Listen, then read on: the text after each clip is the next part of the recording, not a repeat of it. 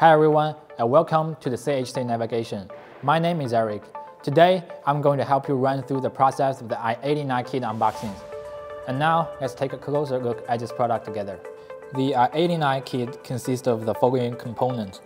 i89 GNSS receiver, HC600 handheld controller, UHF whip antenna, auxiliary tool, Android stylus, controller bracket, Type-C USB cable, different power adapter standards for different areas, and the range pole is packaged independently. CHC Navigation has always focused on its high quality of the product, but it's inevitable to encounter some of the unexpected situations on the transportations. So when we first get the product, we need to check if the product can be turned on normally.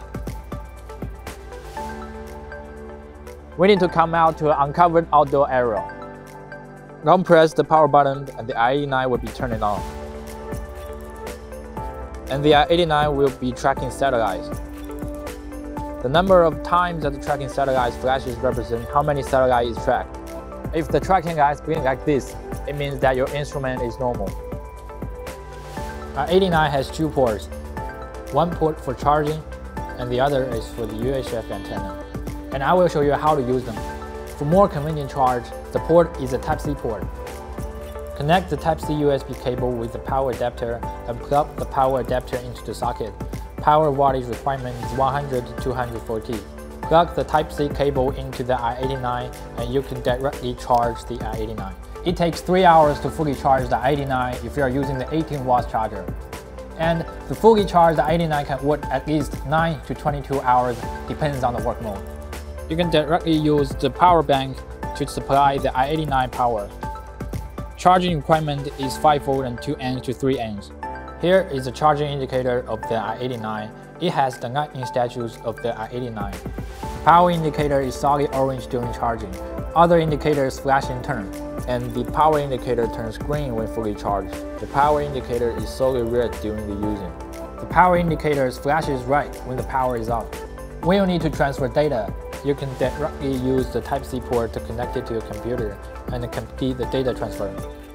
This is a TNC port. Connect the UHF whip antenna here and we can receive the radio signal. The 89 kit comes with the high frequency antennas. If you have your own device, we can also customize the full frequency antennas for you. Before you work, please don't forget to check the handheld controller HC600. All work relies on the Landstar software installed on the HC600. This is the power button of the HC600. Press and hold on to check whether the device can boot normally.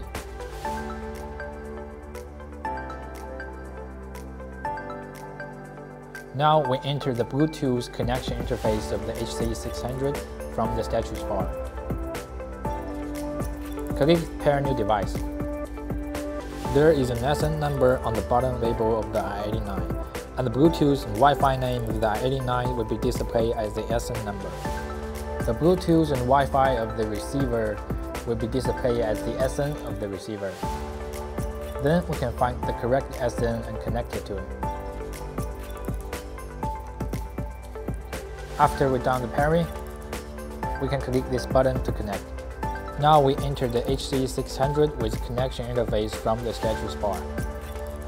Find the i89's Wi-Fi and click connect.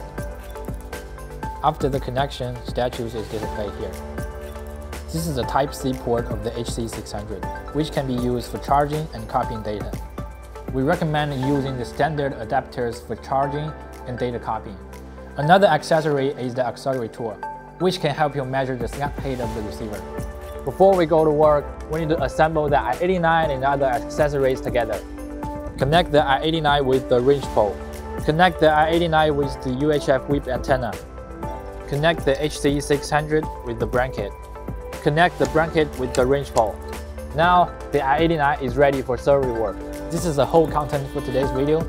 If you want to learn more about the i89 and the other CHC navigation products, please subscribe to this channel, and we will keep uploading it. Thanks for watching and see you in the next time.